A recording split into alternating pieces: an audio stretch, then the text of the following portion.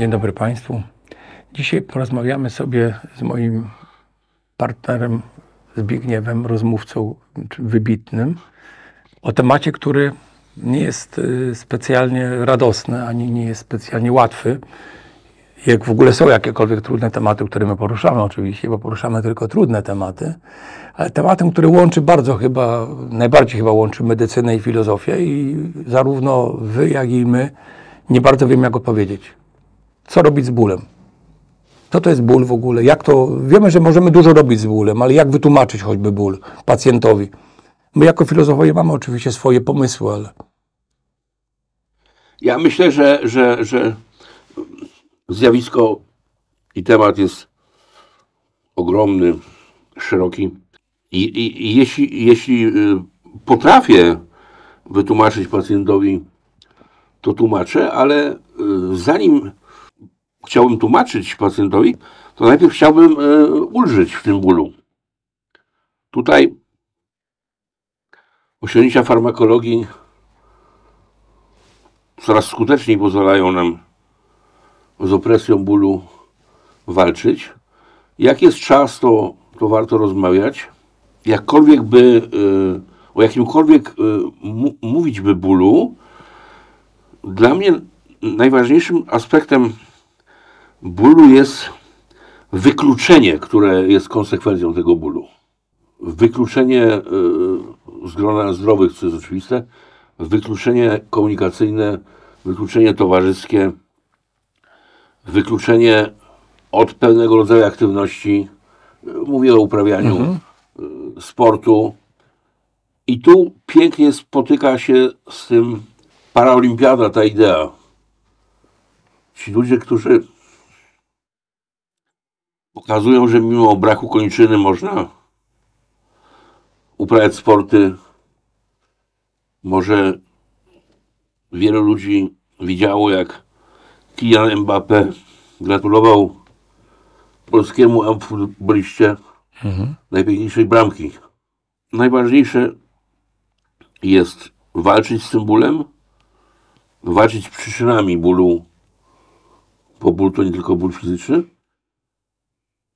i walczyć z wykluczeniem, jakie, e, jakie jest, które jest e, konsekwencją tego bólu. Czy tak, pro, na początek. Problemem jest to, że e, czasami się mówi takie różne hasła, które chyba trudno weryfikować, zwłaszcza kiedy człowiek nie doznaje bólu, typu ból wyszlachetnia, na przykład mm, ból jest czymś, co, co, co czegoś uczy człowieka, daje jakieś doświadczenie. Już pomijam, że kiedyś e, zdarzało się, że lekarze mówili, niech pan się cieszy, że pana boli, bo pan jeszcze żyje, że, że, że to się pewnie dzisiaj też trochę zmienia, że mamy inne podejście do bólu, inne możliwości leczenia bólu.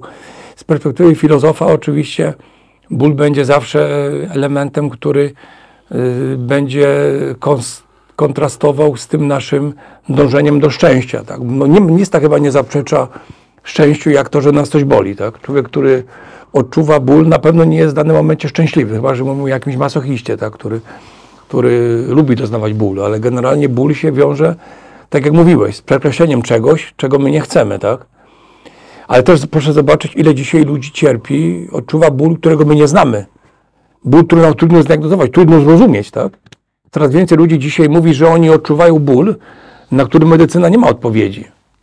Ból związany właśnie z problemami yy, takiego, takiego bardziej właśnie formatu psychologicznego, mm, bo behawioralny ból jest najłatwiej pokonać. Dlatego tak obszerne jest to zagadnienie i można by deliberować bez końca. Moglibyśmy, trzeba nawet. Moglibyśmy o naszych bólach trochę poopowiadać. Byśmy zawsze podobno ból, który się z kimś dzieli, to jest dwa razy mniejszy. A, a radość, którą z kimś dzielimy, jest dwa razy większa. Takie piękne hasło pocieszające. Ale generalnie rzecz biorąc, są, wydaje mi się, y, kwestie, które ja tak przynajmniej mam z doświadczenia, kiedy ktoś bliski komuś umarł, to nie znoszę, jak ktoś podchodzi i tłumaczy, że ten ból minie, albo że ten ból, że ten ból się zmniejszy, bo ktoś, kto w danym momencie stracił kogoś bliskiego, nie chce słyszeć, że on będzie mniej cierpiał i nie chce, żeby go przestało boleć w tym momencie, bo on to musi przeżyć. Ale jest faktem, że bardzo trudno wymieniać się y, kwestią bólu, czy wymianą w ogóle bólu, jak się tego bólu nie odczuwa, tak? I ja nie chciałbym, żeby to zabrzmiało szyderczo, choć to będzie śmieszne. Mhm cytat z kogoś. Nie ma takiego bólu w kosmosie, którego nie znieślibyśmy u bliźniego. No tak. Czyli inaczej się e, ogląda problem z zewnątrz. Wytłumacz komuś, jak cię boli. Reakcja otoczenia na ból takiego przewlekle chorego, nawet jak, jakby, jakby była pełna empatii, to yy, nieuchronnie musi się pojawić coś na kształt habituacji, przyzwyczajenia, nie mówiąc znieczulicy, no bo ileż można słuchać, że cię boli noga? Dokładnie. Myślę, że dlatego konstatacją tego odcinka będzie chyba odwołanie się do słynnej piosenki. Nic nie boli tak jak życie i trzeba się po prostu z tym żyć. A równocześnie żyć tak, żeby bolało jak najmniej.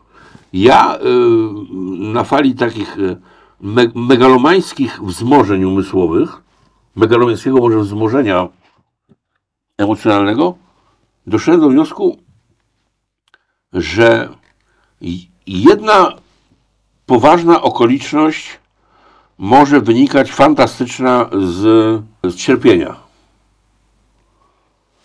Jeśli na przykład, tak powiem w skrócie, moje dziecko ogląda i widzi codziennie, jak pomagam odejść, chorować, umierać swoim rodzicom, być może zwiększa to szansę na to, żeby oni, żeby moje dzieci e, podzieliły się e, e, taką empatią ze mną.